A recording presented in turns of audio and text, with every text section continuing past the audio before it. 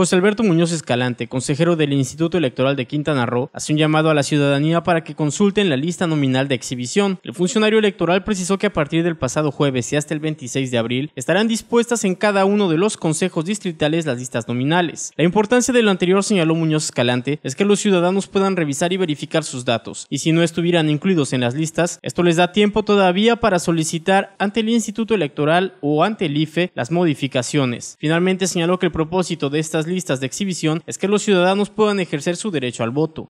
Se puede consultar en la página de internet del YECRO, es, es una consulta muy dinámica, uno entra, solo da su clave de lector con su credencial, inmediatamente le dice cuáles son los datos que, está, eh, que están ya publicados en la lista.